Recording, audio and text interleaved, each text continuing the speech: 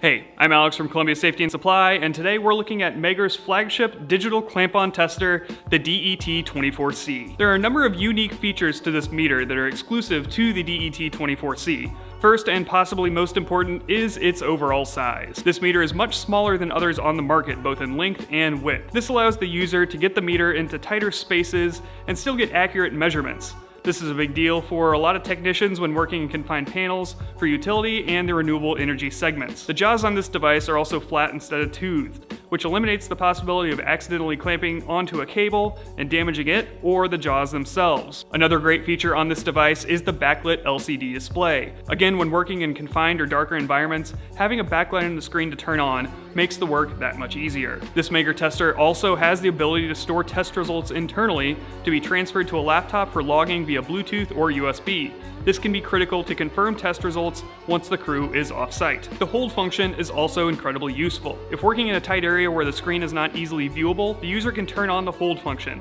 Once the reading is complete, they can remove the device from the cable and read the result. For durability during transport and storage, a rugged plastic latching case is included with high quality foam molding for the meter and its accessories. Speaking of accessories, the DET24C comes with everything you need right out of the box batteries, a wrist strap, and a disc with software, plus a field calibration tool. Simply attach the jaws and the proper check loop of the calibrator at values of 0.1, 10, and 25 ohms. The test is simple. Just check the ohms position, attach the clamp, and verify the value. This just scrapes the surface of the entirety of the features of the DET24C.